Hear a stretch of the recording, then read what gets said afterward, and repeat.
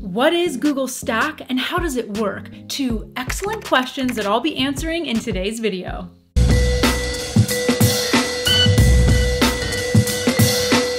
Hey friends, I'm Tasia Custode. And welcome back to my YouTube channel where I share tech tips, app reviews, and a metric ton of Google content. Disclaimer, I've never actually weighed the Google content on this channel. Obviously. Today, we are diving in to Google Stack. We've got a lot to cover, so let's go. So Google Stack is a free document digitizing and document filing app Say that 10 times fast. Google Stack was actually launched in 2021, but it's still in what Google considers an experimental phase. It's a product of Google's Area 120 incubator, and it can be kind of looked at as a productivity app. Its sole purpose is to act as one central spot where you can keep and organize digital PDF versions of all your documents. So, really, Google Stack is a PDF scanner. Also, you might be wondering how do you get Google Stack and who can use it? Well, currently it's only available on Android in the USA, though I do suspect in the future that could change. It is also only currently available to be installed using a personal Gmail account, which is an odd little tidbit of information, but helpful for you to know. Also, when you go to download the app, the full name is Stack PDF Scanner by Google Area 120. So that's the official Stack app we're talking about. So here's how to use Google Stack. It's really easy because, of course, it is. It's Google. When you first open Google Stack, you'll have a search bar up at the top. And to the right of the search bar is your profile. That's where you're going to find your settings, by the way. And just underneath the search bar, you're going to have a list of your stacks. They are circle icons that are organized per document type. So if you tap on one of the stacks to open it, it's going to give you suggestions as to what type of documents could be labeled under that stack name. So as an example, if I tap on bills, you'll have suggestions for things like cable bill, phone bill, electricity bill, and so on.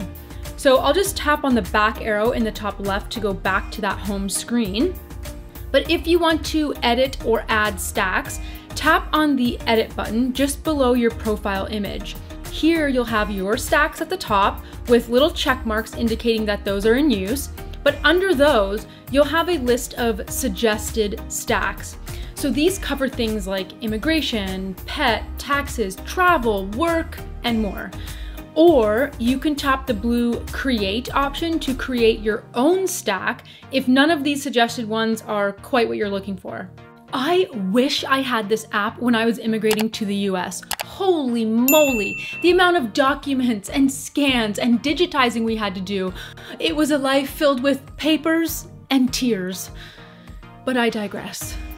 As you tap to add a stack, it'll be moved up to your stacks section.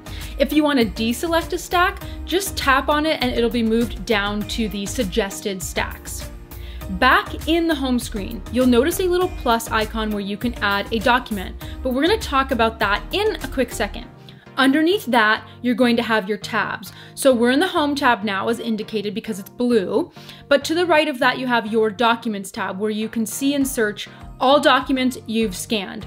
You'll also be able to add a document from either tab, by the way. And speaking of adding a document, let's talk about how to add a document to Google Stack. So if you don't want to add a document from either the Home or Documents tab, you can add one directly to an existing stack. You'll just tap to open the stack and then select Add Document. Here you'll have three options. You can import a PDF file, so if you already have a PDF saved in your Google Drive or on your device, you can import from gallery, which is great if you've already taken a photo of a document or receipt, or you can take a photo directly. So I'm gonna choose take a photo directly to show you how to scan a document. By the way, you'll have to give the app permission to access your camera and take pictures.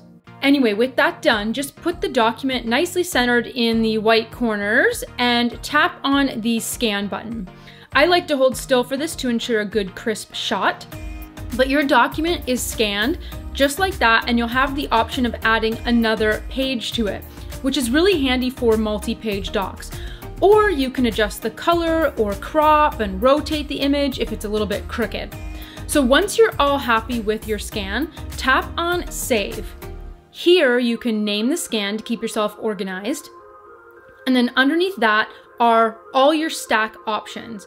So since we already added directly from a stack, the stack is already selected for us. But if you didn't add directly from a stack, or if you want to add it to a different or additional stack, you'll just tap to select the stacks you want to add it to. Once you're all done, just click on done. If you've never added a document before, it's gonna ask you if you wanna save a PDF copy to Drive, and you can toggle on or off if you want this to always happen. This could depend on how you want to organize your documents or even how much storage you have in Drive, so it's really a personal preference. But I do recommend toggling this on and having a copy saved automatically to Drive.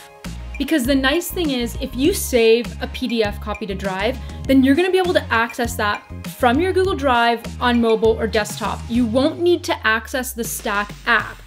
Now, the other cool thing here is that Google is using some advanced AI when it's scanning your documents. So if we tap to go back to a scanned document for a second, you can see that it can recognize certain information in your scan and suggest a stack for it to go into.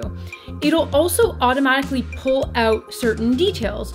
So this post office receipt, it's pulling out information on the total amount and the purchase date. You can even tap to copy these details if need be. If you want to edit a scan, you'll open it up and here to the right of details, you'll tap on edit. You can also add notes as well. And if you want to rename or delete a scan, just tap on the three dot menu icon in the top right. Here you can rename, delete, or save a copy to your device. To the left of the three dot menu icon is the share icon. If you tap on that, you'll be able to share your scan via messages, Gmail, Drive, or via Bluetooth. But there is something else you can do with Google Stack. Let's say you don't always want to manually add your receipts and such. You can actually have Stack do this automatically for you so that whenever you take a photo with your device and it senses that it's of a document, it'll automatically import that into Google Stack. Yeah, really. So remember, to access your settings, you'll tap on your profile in the top right, and here tap on settings. And then just ensure that the first option here, the import photos of documents is toggled on. That way it'll automatically upload for you without you having to add anything yourself. Now let's talk a little bit about privacy and security. This is really important because you could be scanning a lot of sensitive documents to this app. In order to use Google Stack, you're going to need to agree to Google's terms of service, which if you're watching this and you're already a Google user, it's really nothing new to you. Just like any other app, you're gonna have to trust that they're not sharing your personal data and that it's secure enough that it won't have a breach or get hacked. But beyond this, if you're scanning sensitive documents, you can actually add additional security measures should your phone fall into the wrong hands. Back in your settings, you can toggle on the fingerprint or face lock option. This is gonna require a fingerprint or face to unlock the app. I always think more security is better, so I'd recommend toggling this on for sure, regardless of the type of documents you're scanning. So then, the big question is, with all the other PDF scanner apps out there, should you be using Google Stack? The short answer, yes. But my long, somewhat unbiased answer is that depends on a lot of things, like your preferences, the digital ecosystem in which you live and work, who you're going to be sharing the documents with, and how you're going to want to share them, and what type of documents you're sharing, your budget, and so on. But there are a few big wins for me when it comes to Stack over other scanner apps. One, I love how you can automatically save a copy to your drive. This isn't only convenient, but ensures you won't lose that PDF scan should Stack cease to exist, or even if you switch apps down the road, your documents will still be available in Drive. Two, you can export everything to Google Drive in one go. So let's say you hadn't been saving copies to Drive, or you're going to get rid of the app at some point. From your settings, you can just tap the option to export all documents to Drive, and they'll be on your drive separate from the Stack app. Three, it's really nice to have everything in one connected ecosystem. So if you work and play in the Google ecosystem already, then Stack is just a natural extension of this, and the integration is obviously seamless. Four, there are no in-app ads or purchases or watermarks. Five, Stack seems a lot more robust in terms of its AI. So having the ability to pull out and highlight specific information like due dates, purchase dates, prices, etc., and then automatically sort them is really helpful and it's not something many other apps can do. Six, the fact that it can just pull document images from your camera roll and automatically add them without you having to lift a finger is a massive time saver and so helpful when it comes to keeping you organized. And seven, Google Stack is completely free. And speaking of Stack being completely free, it's gonna be really interesting to see what happens with the Google Stack app in the future. It's still, after all, what Google calls in its experimental phase. So, will it be available outside of the US? Will it be available for iOS? Will they move the app and integrate it completely as part of Google Drive or keep it a standalone? Who knows? But for now, it is a great free PDF scanner that you're gonna wanna keep in mind when tax season rolls around. So now that you know what Google Stack is, I wanna hear from you. Have you been using Google Stack? What do you think of the app? Let everyone know in the comments below. As always, thank you so much for watching. If you like this video, well, I wanna know. So give it a like, a share, or leave that comment below. You can click right about here to subscribe to my channel, and here and here for more Google content. Thanks for watching. See you next time.